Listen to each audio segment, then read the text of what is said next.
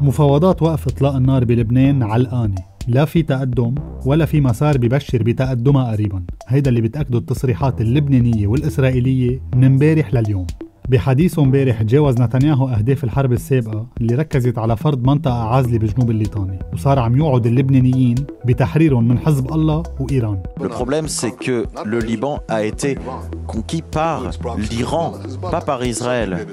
كلام نتنياهو اجى بعد تعثر زيارة الوسيط الامريكي آموس هوكستين ببداية الأسبوع للبنان طرح هوكستين شروط إسرائيلية تعجيزية. بتحط كل المنافذ الحدودية البحرية والبرية تحت الرقابة الدولية وبتحول قوات السلام بجنوب لبنان لقوات مراقبة بحق لها تنفذ أعمال تفتيش ومداهمات.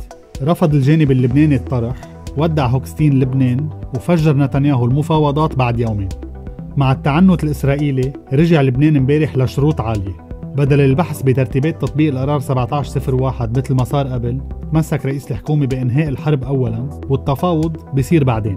فلا نستطيع أن, أن, أن نلتزم بشيء قبل أن يلتزم الجانب الإسرائيلي بوقف النار وعندها يمكن أن نناقش وكل الأمور مطروحة. نبيه بري لاقى مئاتي على نفس النقطة. بده تطبيق القرار 1701 مثل ما هو وبآلية بينفذها الجيش اللبناني من دون أي ترتيبات إضافية. بهالشكل توسعت الفروقات بالموقف التفاوضي اللبناني والإسرائيلي ورجعت الأمور لنقطة الصفر.